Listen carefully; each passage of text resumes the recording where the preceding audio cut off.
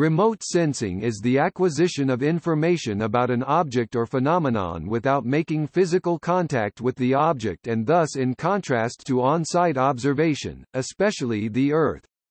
Remote sensing is used in numerous fields, including geography, land surveying and most earth science disciplines for example, hydrology, ecology, meteorology, oceanography, glaciology, geology. It also has military, intelligence, commercial, economic, planning, and humanitarian applications.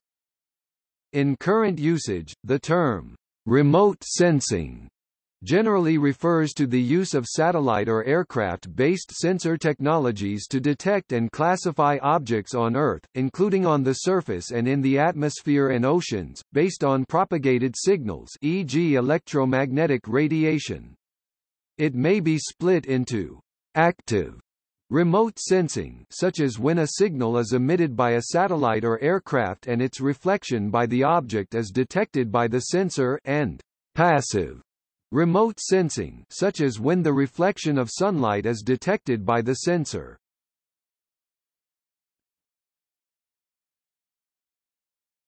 Topic. Overview Passive sensors gather radiation that is emitted or reflected by the object or surrounding areas. Reflected sunlight is the most common source of radiation measured by passive sensors. Examples of passive remote sensors include film photography, infrared, charge-coupled devices, and radiometers. Active collection, on the other hand, emits energy in order to scan objects and areas whereupon a sensor then detects and measures the radiation that is reflected or backscattered from the target. Radar and LIDAR are examples of active remote sensing where the time delay between emission and return is measured, establishing the location, speed and direction of an object. Remote sensing makes it possible to collect data of dangerous or inaccessible areas. Remote sensing applications include monitoring deforestation in areas such as the Amazon basin, glacial features in Arctic and Antarctic regions, and depth sounding of coastal and ocean depths. Military collection during the Cold War made use of stand-off collection of data about dangerous border areas. Remote sensing also replaces costly and slow data collection on the ground, ensuring in the process that areas or objects are not disturbed.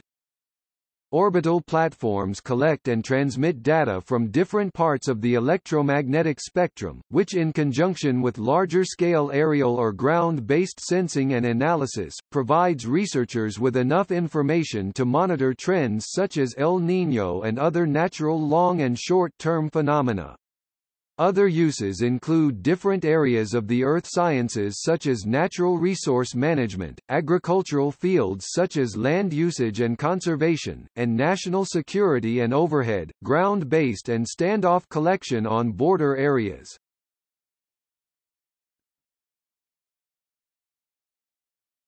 Topic. Types of data acquisition techniques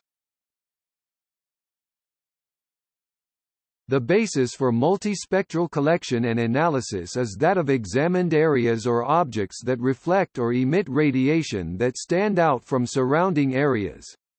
For a summary of major remote sensing satellite systems see the overview table.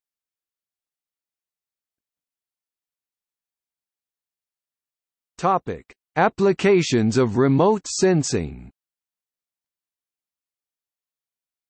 Conventional radar is mostly associated with aerial traffic control, early warning, and certain large-scale meteorological data. Doppler radar is used by local law enforcement's monitoring of speed limits and in enhanced meteorological collection such as wind speed and direction within weather systems in addition to precipitation location and intensity. Other types of active collection includes plasmas in the ionosphere. Interferometric synthetic aperture radar is used to produce precise digital elevation models of large-scale terrain CRADARSAT, TerraSAR X, Magellan. Laser and radar altimeters on satellites have provided a wide range of data. By measuring the bulges of water caused by gravity, they map features on the seafloor to a resolution of a mile or so. By measuring the height and wavelength of ocean waves, the altimeters measure wind speeds and direction, and surface ocean currents and directions. Ultrasound acoustic and radar tide gauges measure sea level, tides and wave direction in coastal and offshore tide gauges. Light detection and ranging LIDAR is well known in examples of weapon ranging, laser illuminated homing of projectiles. LIDAR is used to detect and measure the concentration of various chemicals in the atmosphere, while airborne LIDAR can be used to measure heights of objects and features on the ground more accurately than with radar technology. Vegetation remote sensing is a principal application of LIDAR. Radiometers and photometers are the most common instrument in use, collecting reflected and emitted radiation in a wide range of frequencies. The most common are visible and infrared sensors, followed by microwave, gamma-ray and rarely, ultraviolet. They may also be used to detect the emission spectra of various chemicals, providing data on chemical concentrations in the atmosphere. Spectropolarimetric imaging has been reported to be useful for target tracking purposes by researchers at the U.S. Army Research Laboratory. They determined that man-made items possess polarimetric signatures that are not found in natural objects. These conclusions were drawn from the imaging of military trucks, like the Humvee, and trailers with their acousto-optic tunable filter dual hyperspectral and spectropolarimetric VNIR spectropolarimetric imager. Stereographic pairs of aerial photographs have often been used to make topographic maps by imagery and terrain analysts in trafficability and highway departments for potential routes, in addition to modeling terrestrial habitat features. Simultaneous multi-spectral platforms such as Landsat have been in use since the 1970s. These thematic mappers take images in multiple wavelengths of electromagnetic radiation multispectral and are usually found on Earth observation satellites, including for example, the Landsat program or the IKONOS satellite. Maps of land cover and land use from thematic mapping can be used to prospect for minerals, detect or monitor land usage, detect invasive vegetation, deforestation, and examine the health of indigenous plants and crops, including entire farming regions or forests. Prominent scientists using remote sensing for this purpose include Janet Franklin and Ruth DeFries. Landsat images are used by regulatory agencies such as KYDOW to indicate water quality parameters including Secchi depth, chlorophyll A density and total phosphorus content. Weather satellites are used in meteorology and climatology. Hyperspectral imaging produces an image where each pixel has full spectral information with imaging narrow spectral bands over a contiguous spectral range. Hyperspectral imagers are used in various applications including mineralogy, biology, defense, and environmental measurements. Within the scope of the combat against desertification, remote sensing allows researchers to follow up and monitor risk areas in the long term, to determine desertification factors, to support decision makers in defining relevant measures of environmental management, and to assess their impacts.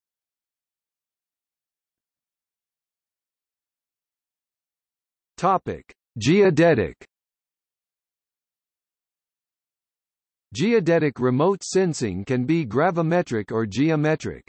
Overhead gravity data collection was first used in aerial submarine detection. This data revealed minute perturbations in the Earth's gravitational field that may be used to determine changes in the mass distribution of the Earth, which in turn may be used for geophysical studies, as in GRACE.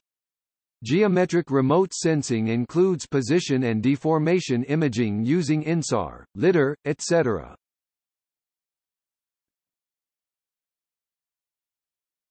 Topic: Acoustic and near acoustic. Sonar, passive sonar, listening for the sound made by another object a vessel, a whale etc. Active sonar, emitting pulses of sounds and listening for echoes, used for detecting, ranging and measurements of underwater objects and terrain. Seismograms taken at different locations can locate and measure earthquakes after they occur by comparing the relative intensity and precise timings. Ultrasound – Ultrasound sensors, that emit high-frequency pulses and listening for echoes, used for detecting water waves and water level, as in tide gauges or for towing tanks, to coordinate a series of large-scale observations. Most sensing systems depend on the following, platform location and the orientation of the sensor. High-end instruments now often use positional information from satellite navigation systems. The rotation and orientation is often provided within a degree or two with electronic compasses. Compasses can measure not just azimuth i.e. degrees to magnetic north, but also altitude degrees above the horizon, since the magnetic field curves into the Earth at different angles at different latitudes. More exact orientations require gyroscopic-aided orientation, periodically realigned by different methods including navigation from stars or known benchmarks.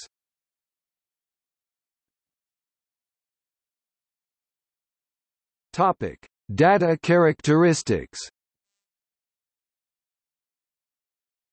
The quality of remote sensing data consists of its spatial, spectral, radiometric and temporal resolutions. Spatial resolution the size of a pixel that is recorded in a raster image, typically pixels may correspond to square areas ranging in side length from 1 to 1000 meters, 3.3 to 3280.8 feet. Spectral resolution the wavelength of the different frequency bands recorded, usually, this is related to the number of frequency bands recorded by the platform. Current Landsat collection is that of seven bands, including several in the infrared spectrum, ranging from a spectral resolution of 0.7 to 2.1 micrometers. The Hyperion sensor on Earth Observing 1 resolves 220 bands from 0.4 to 2.5 micrometers, with a spectral resolution of 0.10 to 0.11 micrometers per band. Radiometric resolution The number of different intensities of radiation the sensor is able to distinguish.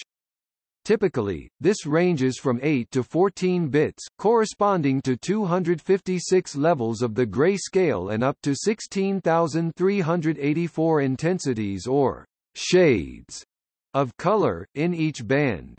It also depends on the instrument noise. Temporal resolution the frequency of flyovers by the satellite or plane, and is only relevant in time series studies or those requiring an averaged or mosaic image as in deforesting monitoring. This was first used by the intelligence community where repeated coverage revealed changes in infrastructure, the deployment of units or the modification, introduction of equipment.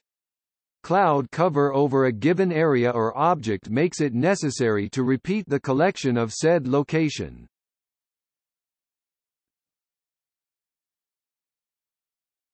Topic: Data processing. In order to create sensor-based maps, most remote sensing systems expect to extrapolate sensor data in relation to a reference point including distances between known points on the ground. This depends on the type of sensor used.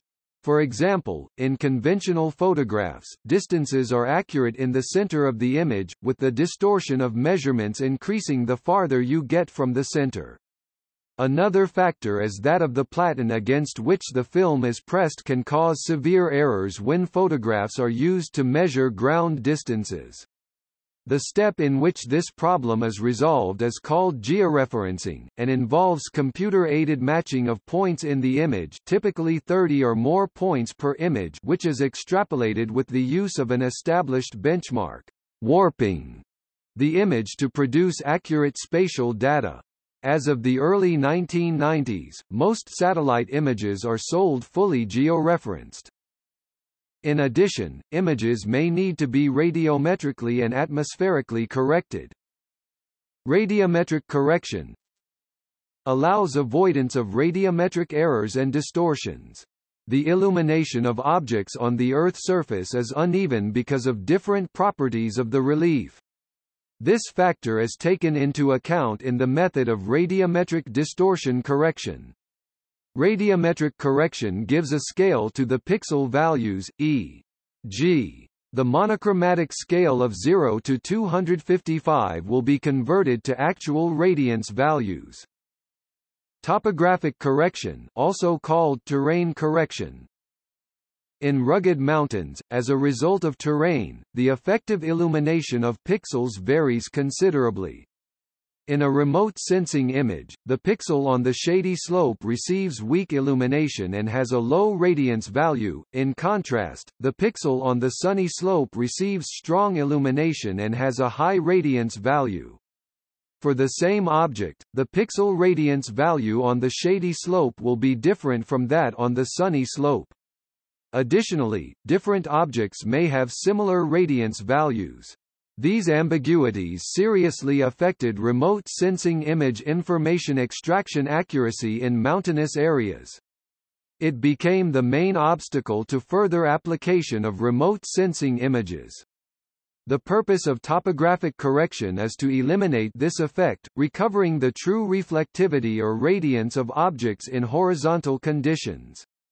It is the premise of quantitative remote sensing application.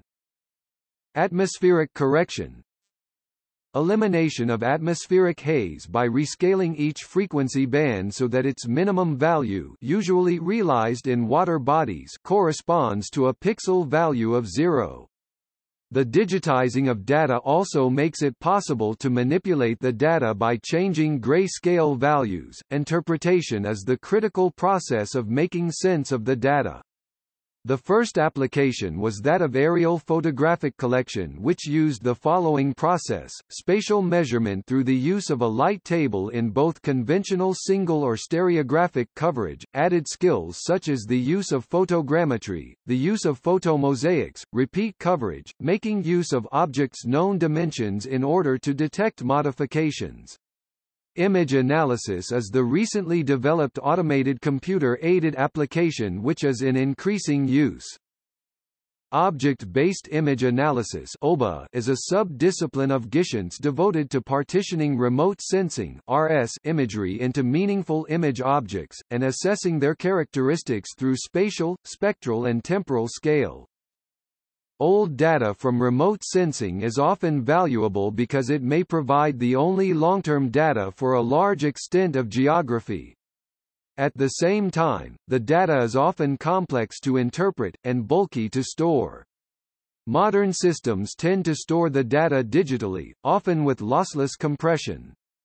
The difficulty with this approach is that the data is fragile, the format may be archaic, and the data may be easy to falsify. One of the best systems for archiving data series is as computer-generated machine-readable ultrafiche, usually in typefonts such as OCRB, or as digitized half-tone images. Ultrafiches survive well in standard libraries, with lifetimes of several centuries. They can be created, copied, filed and retrieved by automated systems. They are about as compact as archival magnetic media, and yet can be read by human beings with minimal, standardized equipment. Generally speaking, remote sensing works on the principle of the inverse problem, while the object or phenomenon of interest the state may not be directly measured, there exists some other variable that can be detected and measured, the observation which may be related to the object of interest through a calculation. The common analogy given to describe this is trying to determine the type of animal from its footprints. For example, while it is impossible to directly measure temperatures in the upper atmosphere, it is possible to measure the spectral emissions from a known chemical species such as carbon dioxide in that region. The frequency of the emissions may then be related via thermodynamics to the temperature in that region.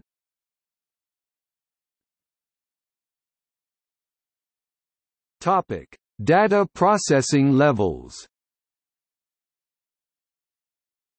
To facilitate the discussion of data processing in practice, several processing levels were first defined in 1986 by NASA as part of its Earth observing system and steadily adopted since then, both internally at NASA E, G, and elsewhere E.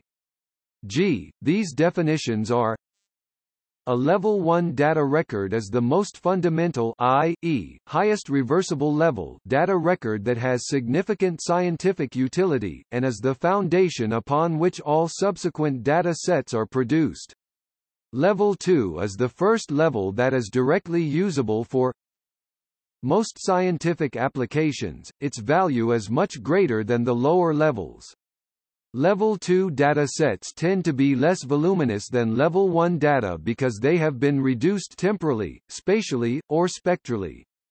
Level 3 data sets are generally smaller than lower-level data sets and thus can be dealt with without incurring a great deal of data handling overhead.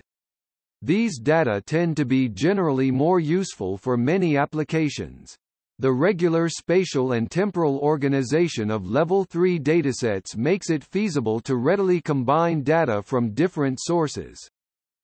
While these processing levels are particularly suitable for typical satellite data processing pipelines, other data-level vocabularies have been defined and may be appropriate for more heterogeneous workflows.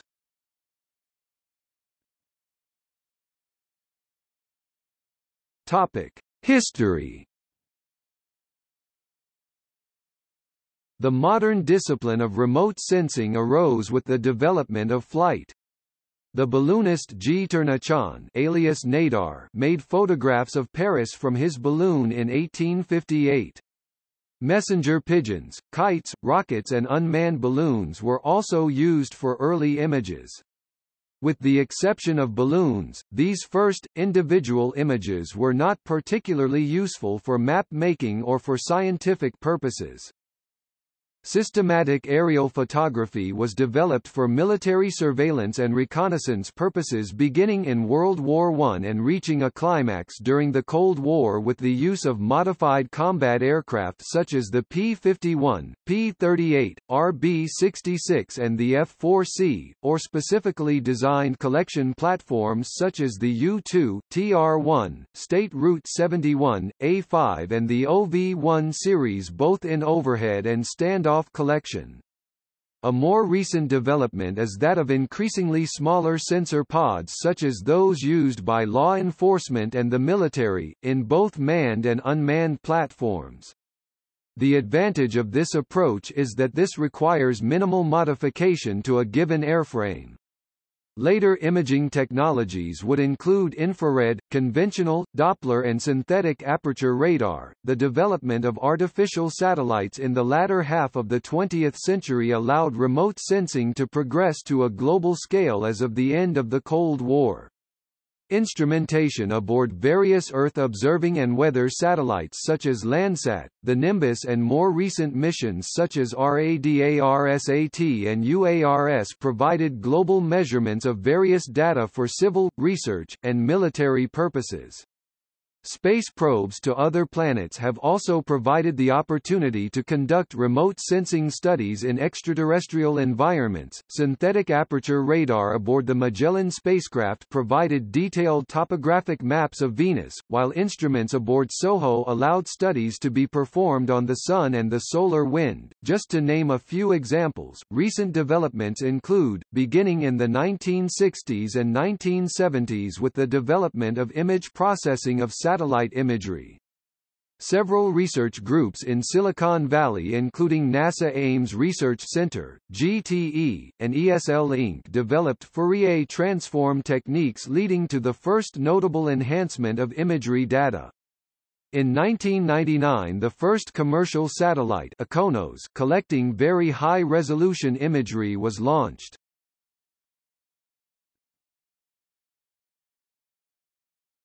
Topic. Training and education Remote sensing has a growing relevance in the modern information society. It represents a key technology as part of the aerospace industry and bears increasing economic relevance. New sensors e.g. TerraSAR X and RapidEye are developed constantly and the demand for skilled labor is increasing steadily. Furthermore, remote sensing exceedingly influences everyday life, ranging from weather forecasts to reports on climate change or natural disasters. As an example, 80% of the German students use the services of Google Earth. In 2006 alone, the software was downloaded 100 million times. But studies have shown that only a fraction of them know more about the data they are working with. There exists a huge knowledge gap between the application and the understanding of satellite images. Remote sensing only plays a tangential role in schools, regardless of the political claims to strengthen the support for teaching on the subject. A lot of the computer software explicitly developed for school lessons has not yet been implemented due to its complexity.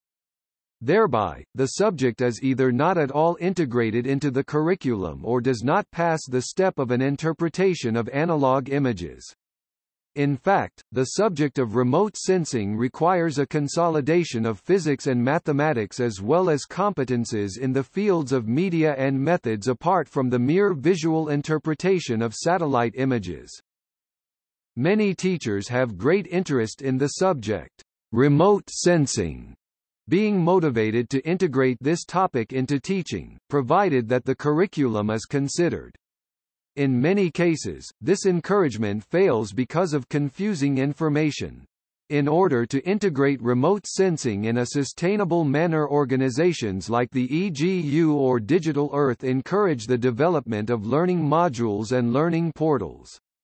Examples include, FIS, remote sensing in school lessons, geospective, e-change, or spatial discovery, to promote media and method qualifications as well as independent learning. Topic software Remote sensing data are processed and analyzed with computer software, known as a remote sensing application. A large number of proprietary and open-source applications exist to process remote sensing data. Remote sensing software packages include, ERDAS Imagine from Hexagon Geospatial separated from Intergraph SG and I, PCI Geomatica TNT MIPS from Microimages, IDRISI from Clark Labs, Ecognition from Trimble, and RemoteView made by Overwatch Textron Systems. Dragon, IPS is one of the oldest remote sensing packages still available, and is in some cases free. Open source remote sensing software includes, Opticks software, Orfeo Toolbox Sentinel Application Platform SNAP from the European Space Agency ESA. Others mixing remote sensing and GIS capabilities are, GRASS GIS, ILWIS, QGIS, and TerraLook, according to a NOAA-sponsored research by Global Marketing Insights, Inc. The most used applications among Asian academic groups involved in remote sensing are as follows, ERDAS 36%, ERDAS Imagine 25% and ERMapper 11%, Esri 30%, ITT Visual Information Solutions ENVI 17%, MapInfo 17%. Among Western academic respondents as follows, Esri 39%, ERDAS Imagine 27%, MapInfo 9%, and Autodesk 7%. In education, those that want to go beyond simply looking at satellite images printouts either use general remote sensing software e.g. QGIS, Google Earth, StoryMaps or a software, web app developed specifically for education e.g. Desktop, LeoWorks, Online, BLIF.